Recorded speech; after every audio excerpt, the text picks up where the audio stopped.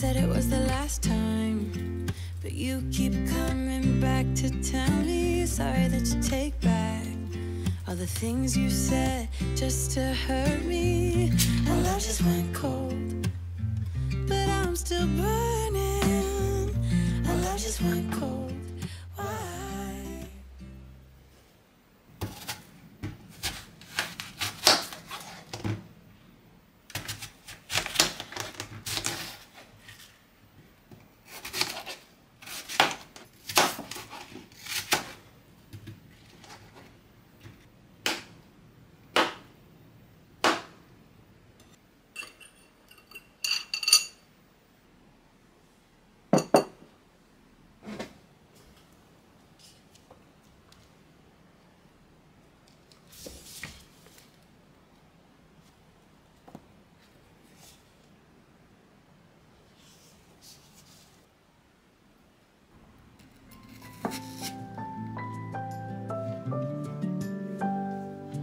May you always find your way to higher ground.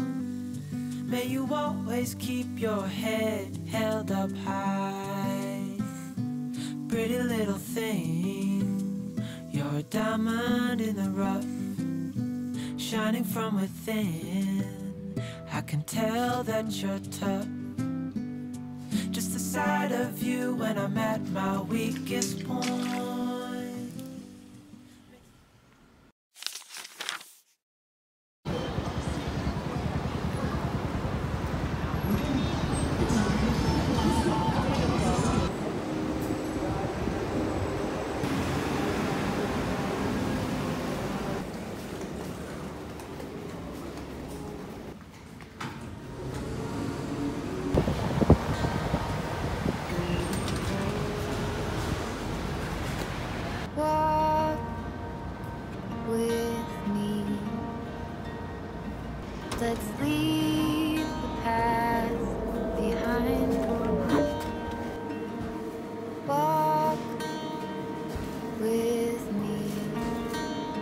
There's something else we need to find.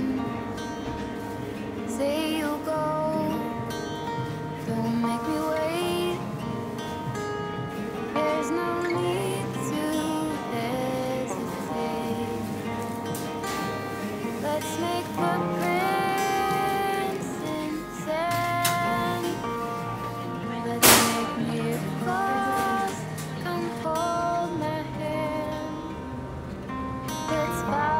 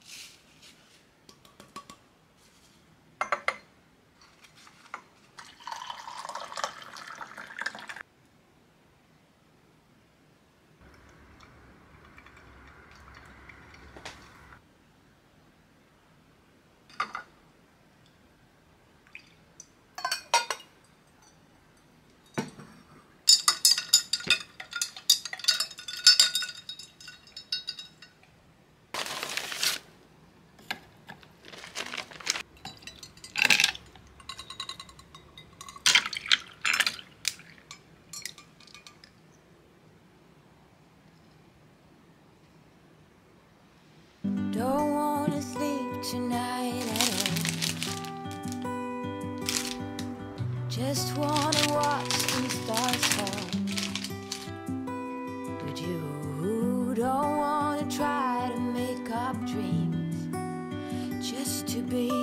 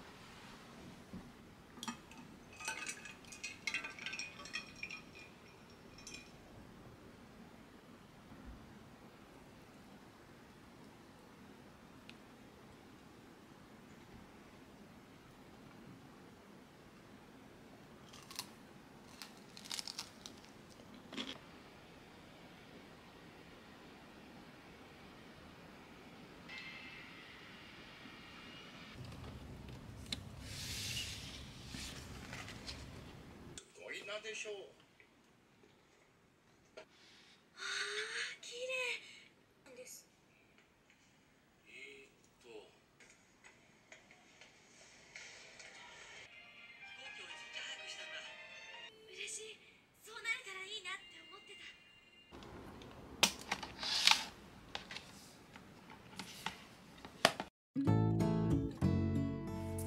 6月17日にローンチされた韓国の新しいスキンケアブランドのナセンシャルというブランドのスキンケア用品をいただいたのでご紹介したいと思います。パッケージこんな感じで実は公開前から使わせてもらっていて今もう23週間ぐらい使ってるスキンケアになります。まずこっちがデイズバランストナー化粧水です。でこっちがデイズバランスエッセンス美容液になってます。肌荒れした時の鎮静目的として作られている商品で韓国コスメでこの鎮静効果がある成分として歯科がすごい有名だと思うんですけどそれに続く鎮静成分の新定番がドクダミエキスでそれをこっちの化粧水の方は80%美容液の方は85%配合されている肌の鎮静に特化したレスキューコスメです。でしかもあの80%以上このドクダミエキスが配合されてるんですけど歯科成分も配合されてるのでもうダブルで本当に鎮静特化っていう感じのスキンケアです。使われてる成分もシンプルで日本国内でのスティンギングテストっていう敏感肌の人を対象にした使ってピリピリしないかとか刺激性が高くないかとかっていうのを検査するテストがあるんですけどそのテストもあの合格しているので本当に敏感肌の人にもおすすめできる商品です。でテクスチャーが結構トナーの方はもうほぼ水っていうぐらいシャバシャバ系のテクスチャーなのでこれ1本だけであの高保湿っていう感じではなくて私は導入化粧水として使っています。夜のスキンケアだったらもうお風呂浴室から出る前に一番最初にこれを顔に塗って、まあ、その後化粧水塗ったりとかっていうのをしています。朝はなるべく油分の高くないスキンケアをするように心がけているんですけどその朝にもぴったりなので保湿目的の化粧水は夜と朝で分けているんですけどこれは夜も朝もどっちも使ってます。日焼けもかなりするようになってきたのでこれからの季節にも特にぴったりだと思います。エッセンスのテクスチャーはもうかなりとろっとしています。他の美容液使ってる時は顔を上向きにしてからこう顔に直接垂らしてたんですけどこれはほぼ真正面向いたままでもつけれるぐらいその場にとどまってくれるテクスチャーです。もう傾けてもかなりゆっくりとした傾き